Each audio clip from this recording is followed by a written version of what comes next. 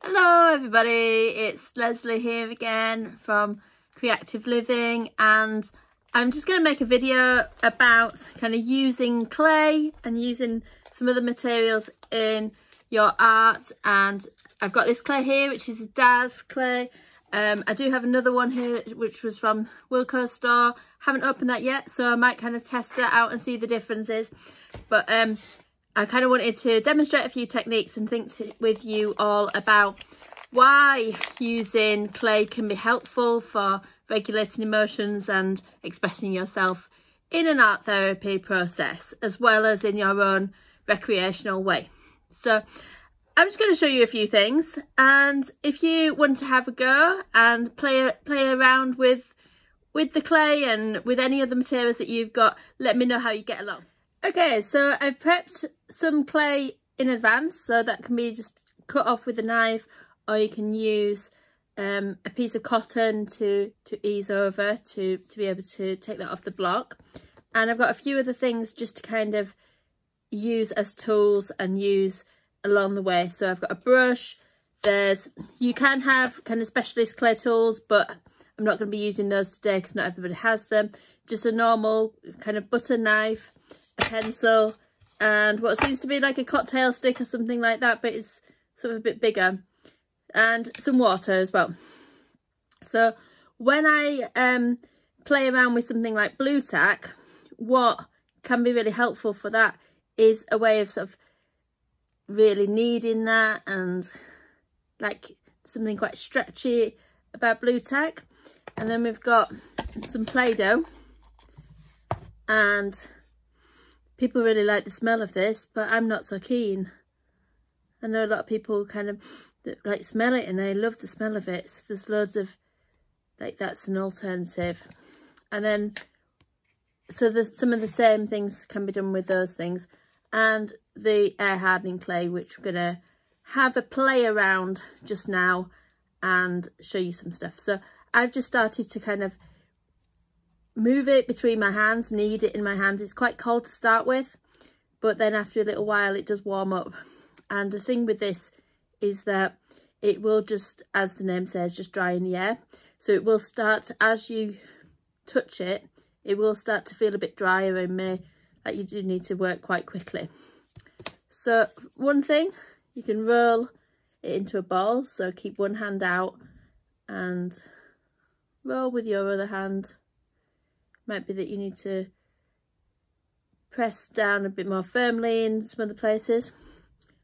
Another thing to do is the same thing with your hand, like rolling like a sausage, like that. That can be done on a table. Just pressing firmly down. Some people like to press on quite softly with the clay. Other times people find like pressing pressing down quite hard is really nice and can be quite therapeutic. So we'll take another piece. So if you are wanting to make something, join pieces together, then what's really important is that you are thinking about how that might go together. So sometimes people would just put two pieces of clay together like that. You had two pieces. Now, because they're soft, at first they seem to be joined together, but actually can very easily come apart. So instead of having two pieces of clay like that, what we need is to have two pieces of clay like this. And then if you try to pull your hands apart, then it's a lot more difficult. So the way that we do that is by scratching into the surface. We'll make that circle back again. With a knife or like building up the lines. If you've got specialist clay tools, then you can do that with this. Like the lines of a knife can be just as good. And then we're using your finger with a bit of water just to press that water in on both sides like I said before, this is a really strong way of joining the clay together. Now, this works a lot better for the clay that you would use and dry in a kiln, like some of the stoneware clay that exists, but you would need to have a kiln for that. So that can be, you can actually use a brush to press in or just use your fingers to press down as well. It's a good way of joining the clay up. Now I'm just going to mess that up and just have more of a play. So pressing down with my fingers. So it feels quite nice in my fingers. And then rolling that back up again. Thinking about how how how hard can I squeeze the clay? Ooh. And can I relax my hand? And then go to my other hand. How hard can I squeeze the clay? Ooh, ooh, even harder. Ooh. And then relax my hand. So if if your son or your daughter or somebody that you know is struggling to manage their emotions and they're feeling quite stressed or feeling quite uptight, using this and really pressing into the clay can be a way of kind of expressing those feelings from a sensory point of view. So really tapping into the sensory um, elements of, of the material. And that can be really helpful because quite often our emotions are stored in a sensory way, stored and stuck within the body. So I'm pulling these bits apart so it's working from a sensory perspective to begin with, then thinking about emotions that emerge from this, and then that's where something more cognitive may come from it. So it might be that there's symbols and ideas that emerge from when when the clay is being used. It might be that connections between different thoughts and feelings come up.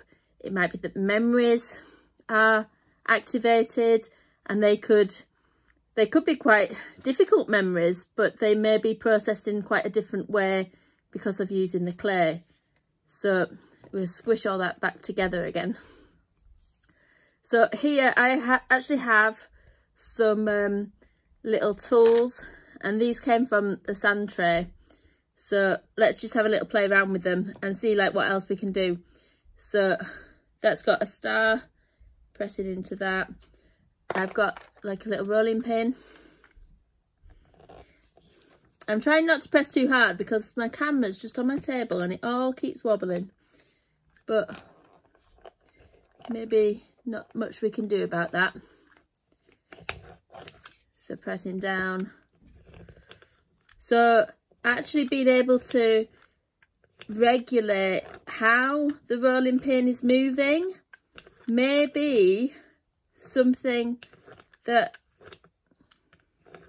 that people may struggle to do. So a young child might need a bit of help with this but um but being able to control the materials and manipulate the the clay in different ways might feel a sense of control or a sense of mastery as well so I've just kind of thought, well, we'll play with like the knife, bring in like some patterns.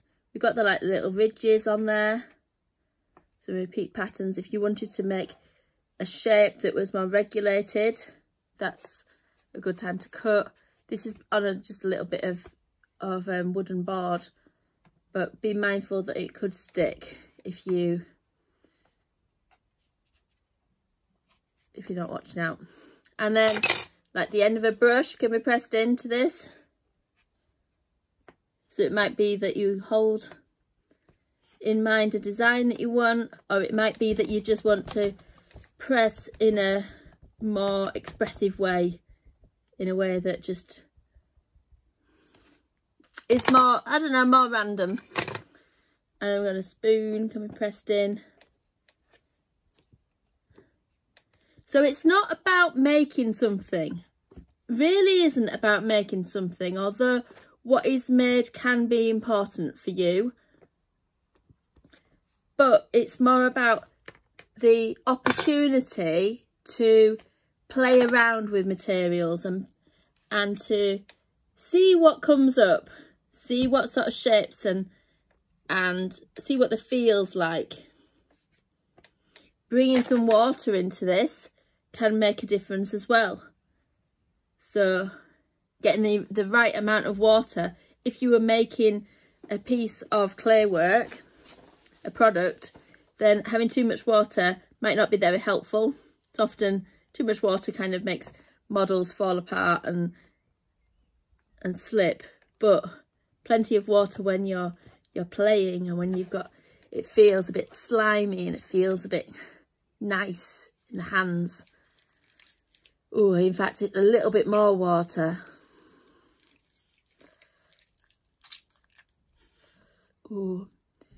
So if you're doing this with a young child, like a family member, then it might be that you can like really interact with each other in, in a way of touch, like by really sort of swapping your hands around. You might kind of build up like a bit of a patty cake thing with the clay in between.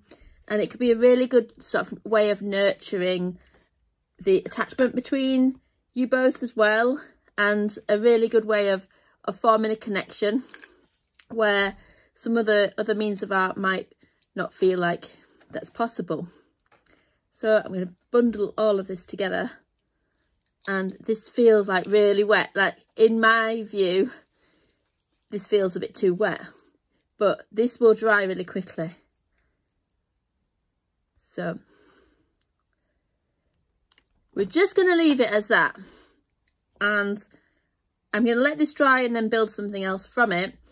In order to finish, what you would need to make sure that you've done is wrapped everything into plastic, like the clay that you're not using, because if you leave it out, it will, it will dry up and you won't be able to use it again. So just, just, that was just a couple of things using the clay and um, hopefully that's helpful for you. I have all sorts of kind of different theories that connect with this as well, which I'm happy to share with you at some point, depending on what sort of questions you might have or what you'd like to know. But um, there we go. we've got some very wet, messy clay and ready to wash my hands and go and finish this video. So thanks so much for watching and give it a go. If there's any other materials and art materials that you like to use, let me know what sort of things that you enjoy using and if you find it therapeutic in any sort of way. Like, like my title of my um, video is all about kind of the therapeutic use of clay. So it's not about making a fancy piece of artwork or anything like that. It's just purely about kind of how you might use it to express your emotions and feel a bit more regulated. So thanks for watching and bye for now.